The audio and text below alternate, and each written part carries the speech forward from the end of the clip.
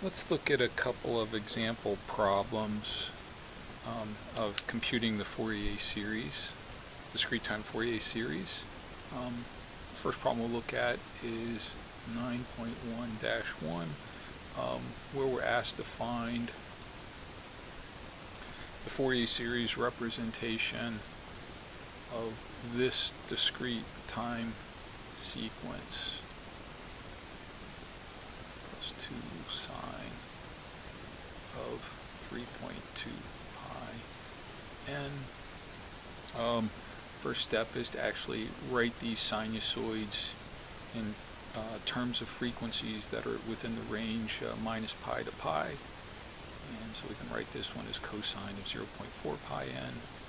And we can write the sine as minus 0.8 pi n. Um, and then uh, we want to find the, the, um, the period of each of these, looking at the 0.4 pi n.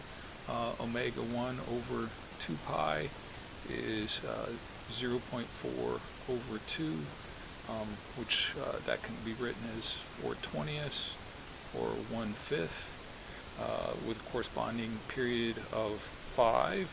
And then uh, for the second signal, omega 2 over 2 pi um, is uh, 0.8 over 2, uh, which can be written as 8 20ths, which reduces to 2 fifths, uh, which also has a, a, a, period of 5.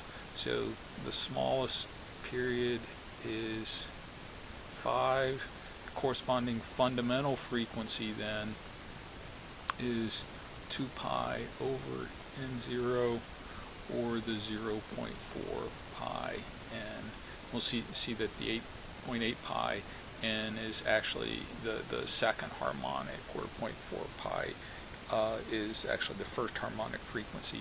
Um, instead of calculating the Fourier series using the, the defining summation, um, we'll actually just use Euler's formula uh, to expand these two um, discrete time um, uh, sequences and uh, determine the Fourier series coefficients by inspection. So uh, for the, the cosine of 0.4 pi n, we can write that as um, 1 half e to the plus j 0.4 pi n uh, plus 1 half e to the minus j 0.4 pi n and for um, the sine wave we have uh, 2 times 1 over 2j uh, e to the minus j 0 point pi n uh, minus e to the be the negative of the, the negative angle so we get plus j 0 0.8 pi n. Um, collecting terms here uh, we'll have 2e to the j um, omega 0 n, that's this term, since omega 0 is 0.4 pi n, um, plus 2e to the minus j omega 0 n, that's from this term, and then we'll have uh, 1 over j uh, e to the um, minus j 2 omega 0 n, that's this term, minus 1 over j e to the plus j 2 omega 0 n. And then um, since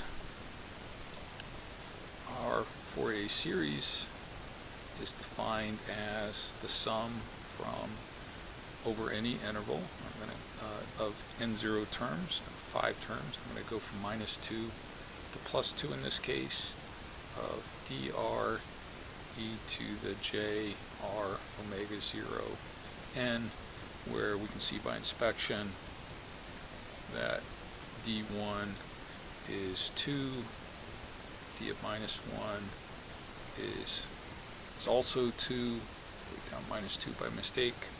Um, d of 2 which would be the J2 omega 0 term um, is equal to, that coefficient is this minus 1 over j term, uh, which if we multiply both numerator and denominator by j, we get minus 1 over j is equal to j, and then d of minus, minus 2 is this coefficient, 1 over j, again multiplying numerator and denominator by j, we get that's equivalent to, to minus j.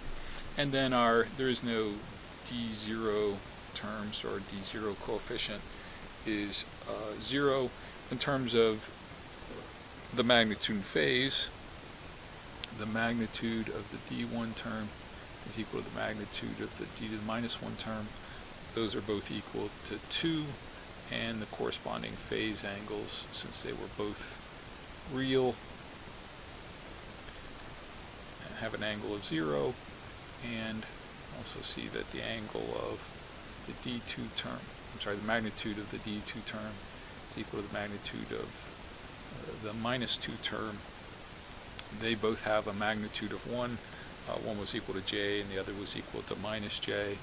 And then, so the angle of d2 is actually equal to the neg negative angle of d minus 2 uh, and the angle of the d2 term, which was j, is just pi over 2 or 90 degrees. Uh, so we could plot those. Again, it's typically plot them uh, versus omega, which is our frequency, which are our harmonics are at r times omega 0. It's convenient to also plot them versus r.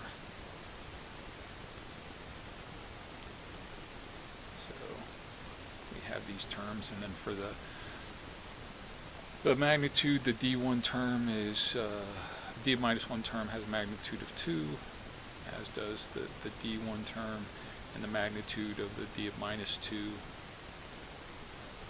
and the d of plus 2 terms is both equal to 1 the magnitude of the the, 0 term is 0 and then again these are periodic so 3 4 so I could just slide this this is going to be equal to the magnitude of the d of minus 1 term. At 4, this is equal to the magnitude of the d of 1. At 5, we'd back, be back to 0. At 6, um, that's equal to the magnitude of the d1 term.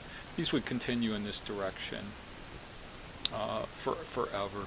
Uh, um, for the corresponding frequencies, uh, the frequency here is 0. Um, and uh, the first frequency here is a fundamental frequency of 0.4 pi, 0.8 pi, 1.2 pi, uh, 1.6 pi, minus 0.4 pi, so on and so forth. So it's it's um, this is our magnitude spectra, d of r. Again, it's convenient to plot it in terms of frequencies because we know not only the the magnitude of the magnitude of the term um, but also the, the corresponding frequency of that exponential. And then you can similarly plot the phase angles, um, you know, plot them in degree or versus r first because that's slightly simpler. Um, our uh, for our zero term, this is zero, so we can mark that angle as zero. For our, our our d of 1 and our d of minus 1 terms, th those were both real, so they have phase angles of 0. Our d of 2 term has an, has an angle of 90 degrees, and our d of minus 2 term has an angle of uh, minus 90 degrees. And again, this would be in periodic, so um, the angle of the d3 term is angle equal to the angle of my uh, d of minus 3, and I'd have 3 zeros, and then a plus 90 degree term. So these are, this is the phase spectra of, of the corresponding Fourier series. Um, in this particular case, uh, we can also write x of n is equal to the sum from n equals 0 to 4, I'm sorry, um, of n is equal to the sum from r equals 0 to 4 of d of r e to the j r omega 0 n, where, again, our d0 is 0, our d1 is, as before, is equal to 2, our d2 is equal to j, d3 is equal to our d of minus 2 term, and that's minus j, and d4 is equal to our d of minus 1 term, which is 2. Um, you can, can verify this x of n just by explicitly writing out the summation. We'll have, um, of course, a zero term for the d0, and then our first non-zero term we have 2 e to the j, uh, um, r is 1, omega 0 n, plus j e to the uh, j 2 omega 0 n plus, um, that is, next term is this minus j term, minus j e to the j 3 omega 0 n, and then finally plus 2 e to the j 4 omega 0 um, n, um, or explicitly plugging into the the j the omega 0 values 0 0.4 pi n plus j e to the j 0 0.8 pi n minus j uh, e to the j 1.2 pi n and then finally plus 2 e to the j 1.6 pi. N and I can rewrite this as uh, 2e to the j uh, 0.4 pi and this 1.6 pi that's almost 2 pi times around the circle so I can write that as instead of j 1.6 pi I can write it as minus j 0.4 pi n. And then similarly uh, e to the j 0 pi and this value here that's greater than pi, the 1.2 pi, I can write that as um, minus j e to the minus j 0.8 pi n. And then now from uh, Euler's formula I can recombine these to get 4 cosine of 0.4 pi n and then plus 2 sine of 0.8 pi n. So, and this is a sequence that's identical to my uh, original sequence. Let's look at one other example um, where we'll have to actually uh, compute the Fourier series coefficients. In this particular case, uh, this is problem 9.1-4 we're given an x of n sequence, a periodic x of n sequence um, that looks like this.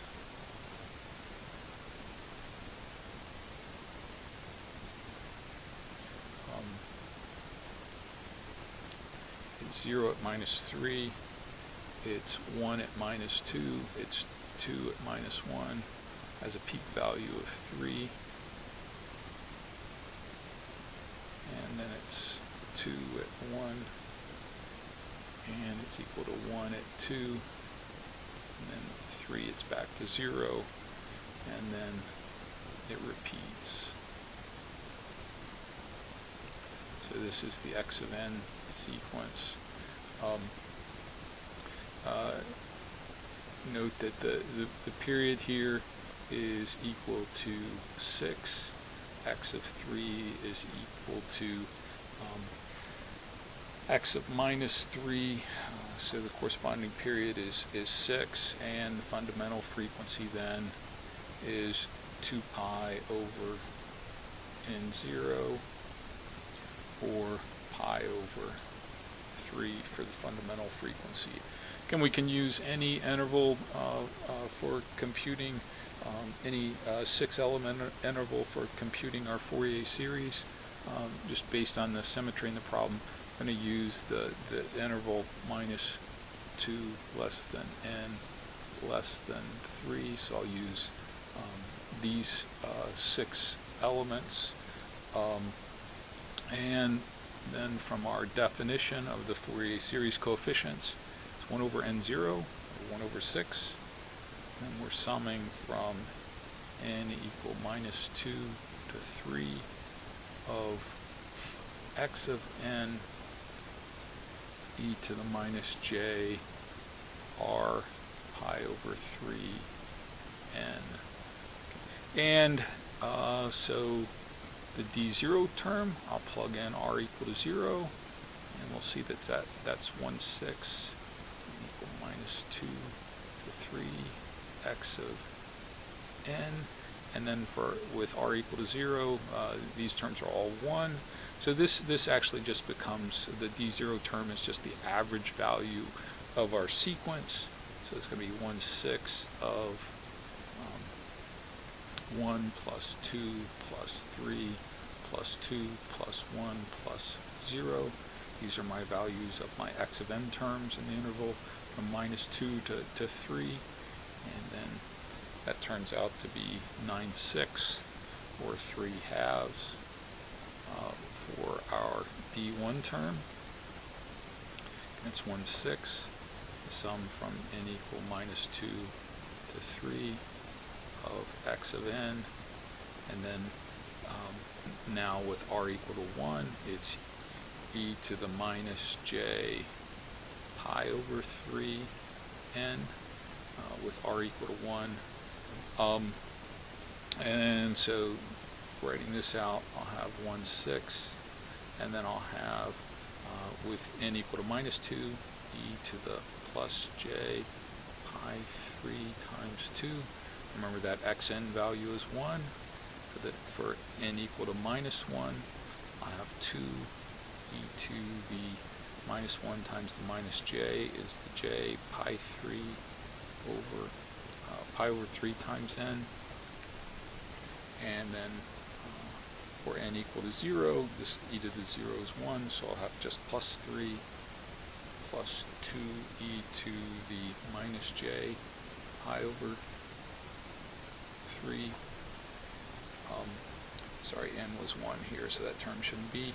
Um, e to the minus j pi over 3, and then uh, um, plus 1 e to the minus j pi over 3 times 2, and then plus 0 um, I can uh, um, actually use Euler's formula here to um, combine these terms and um, you, you, can show that the D1 term is actually equal to two-thirds. And similarly we can show that uh, D of minus 1 is actually equal to conjugate of D1. D1 is real, so D of minus 1 is also equal to two-thirds. And similarly, uh, with similar process, you can go through, it's not trivial, you can show that d of 2 is actually equal to 0, d of minus 2 is conjugate of d2, so it's also equal to 0, and then d3 is actually equal to 1 6. Uh, so in this particular case, all of our uh, dr are real. So actually, let me uh, summarize what we what we have um, are uh, d of minus 2 is equal to 0, d of minus 1 is equal to 2 thirds, uh, d of d of 0 is equal to um, 3 halves, d of 1 is equal to 2 thirds, d of 2 is equal to 0, and d of 3 is equal to 1 6. And this is a special case. uh, in this particular special case because of the symmetry of the sequence. Um, um, all of my uh, D coefficients um, are uh, are entirely real. So again, we could plot the magnitude. The phase angles would, would all be zero. In general, these coefficients will um, actually will uh, in general be complex. Um, should note that uh, there is an easy way to compute uh, um, using octave. Can compute d0 to dn0 minus 1 from my x0 minus x of n0 minus 1 terms. And I can do that just using the FFT function in octave.